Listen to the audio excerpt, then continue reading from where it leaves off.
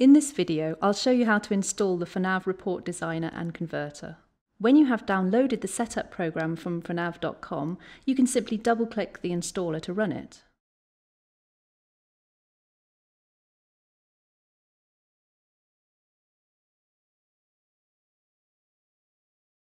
Most of this is straightforward. You just click Next, Next.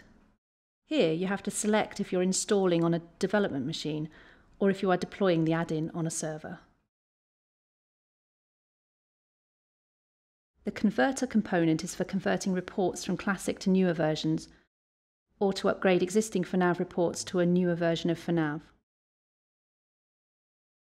The designer is for designing new reports and modifying existing reports.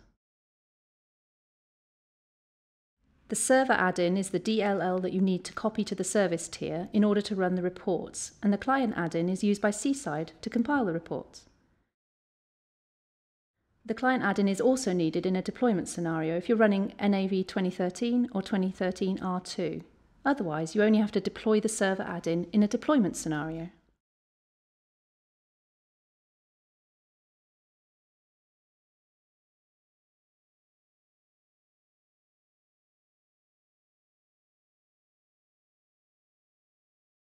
So this is all you need to do to install it. You can delete the installer and that's it.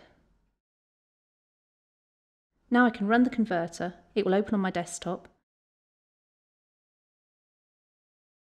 and I can launch the designer. That's it.